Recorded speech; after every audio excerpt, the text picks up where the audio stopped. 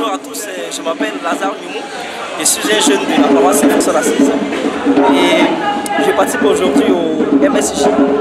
Alors j'ai choisi de vivre le mouvement salésien des jeunes parce que, euh, en plus d'être un jeune de la paroisse, le mouvement salésien des jeunes permet de rassembler tous ces jeunes qui vivent dans l'esprit salésien, tous ces jeunes qui ont l'opportunité de partager avec les Salésiens la pastorale, qui vivent la pastorale des Salésiens des jeunes.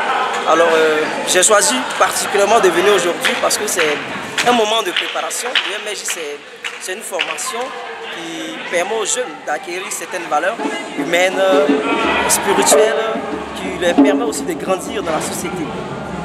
Et particulièrement pour ce week-end, on a vécu beaucoup de moments j'ai surtout apprécié l'adoration, les, prières, les laudes, parce que généralement nous les jeunes on n'est pas habitués à expérimenter les laudes. Et ici par exemple on donne l'opportunité aux jeunes d'expérimenter ce que c'est que la prière des laudes.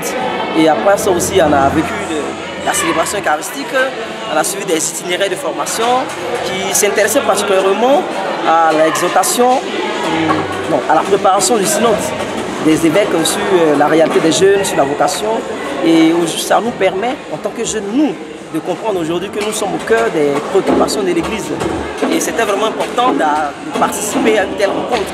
Et vraiment, je suis quand même désolé euh, ou euh, vraiment attristé pour les jeunes qui n'ont pas pu participer à cette rencontre.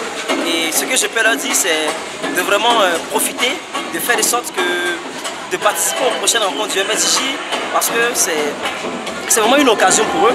C'est une occasion parce qu'on ne peut pas le trouver ailleurs. Et être aujourd'hui avec les Salésiens, c'est une opportunité de grandir, de se former, de vivre en communion, en symbiose, de rencontrer d'autres jeunes. C'est une opportunité aussi de s'imprégner de d'autres réalités avec euh, d'autres jeunes qui ne vivent pas avec toi. Parce que souvent, quand tu vis seul dans une certaine réalité, tu penses que tu es le seul à vivre ça. Et quand tu croises d'autres personnes qui sont dans la même réalité que toi, c'est un partage d'expérience et ça permet de grandir. Merci.